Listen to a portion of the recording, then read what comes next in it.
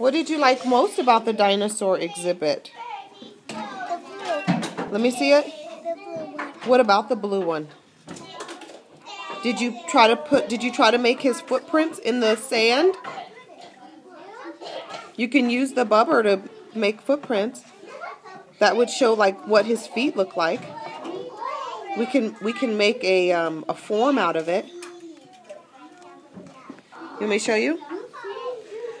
So if we take this and like smush it down, now you can make a footprint. You can see what his feet look like.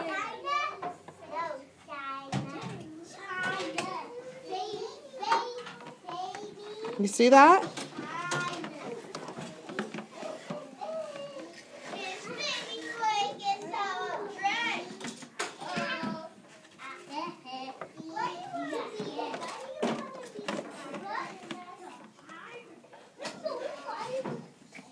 Yeah, you can put some more and make a mi- mini footprint.